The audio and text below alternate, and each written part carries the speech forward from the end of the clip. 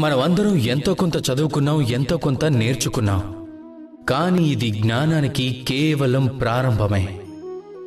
మనసులోని చైతన్యం ఎలా జాగృతమైందో మనకు తెలిసినప్పటికీ మనం దాన్ని అర్థం చేసుకోలేం. అయితే రండి మళ్ళీ మనం నేర్చుకుందాం జ్ఞానం యొక్క గుణింతాన్ని. హల్లులు ప్రారంభం అయ్యేది కాతో. కాతో కమలం అంటూ మొదలుపెట్టి హల్లుల్ని రాయటం ప్రారంభిస్తాం అలాగే చదువుని సాగిస్తాం. మీరు ఎప్పుడైనా ఆలోచించారా? కాతోనే హల్లులు ఎందుకు ప్రారంభమవుతాయన్నదే? వేరే అక్షరంతో మొదలవచ్చు కదా? ఎందుకంటే ఈ కా ఈ కా దర్శింపచేసేది కరుణ. కరుణ అన్నిటికంటే మహత్తరమైన భావం. ఈ కరుణ భావం కారణంగానే ఎవరైనా మనిషిలో గాని ఏదైనా ప్రాణిలో గాని ఉన్న మనోభావాలను వారి సమస్యలను వారి బాధలను అర్థం చేసుకోగలం. ఈ కరుణే కదా ప్రేమకు జన్మనిచ్చేది.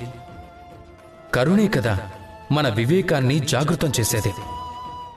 కాతో కరుణ అంటూ నేర్చుకుంటే జ్ఞాతో జ్ఞానిగా మారటానికి ఎంతో సమయం పట్టదు.